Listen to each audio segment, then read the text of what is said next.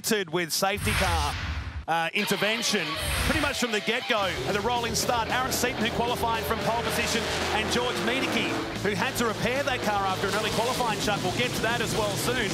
They were flying through the centre chicane, but it was the staircase section that brought them undone. Yeah, Aaron Seton was pretty strong early on, and he was able to get down the inside of George on the run through the centre chicane. But on the opening lap, we got up through the staircase, turn five, six, seven. Unfortunately, six was no good for Miedecke, and he ended up in the fence. Now, it looked awkward to me. There was there was too much going on, and I know you've got more information on that.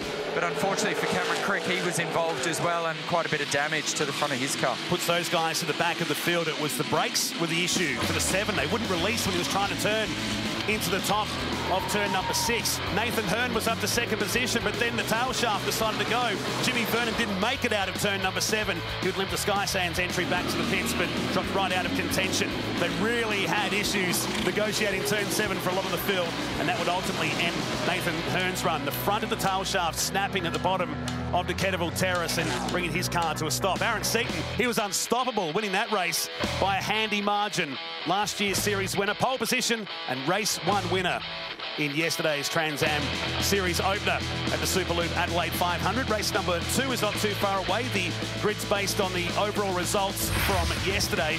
We had an incident during qualifying yesterday for Craig Dontas and George Miedecke. Chad Neylon's down in the pits. It was a big night for the Dontas team to repair. Looking forward to seeing those guys charge through the pack. Not many laps to get the job done. And again, Chad Neylon gets the best race to stand down in pit lane from. He was jumping in the pit to be down there yesterday. Here's what we were talking about just before. Dontas parked in the middle of the road and George Miedecke straight down the middle slams into the Pioneer sponsored car of Dontas. He didn't make it out for the race. They repaired that car overnight, but a big shunt quite a lot of damage to the Miedecke car. And hey, mate, I'm actually really worried about Chad standing down there because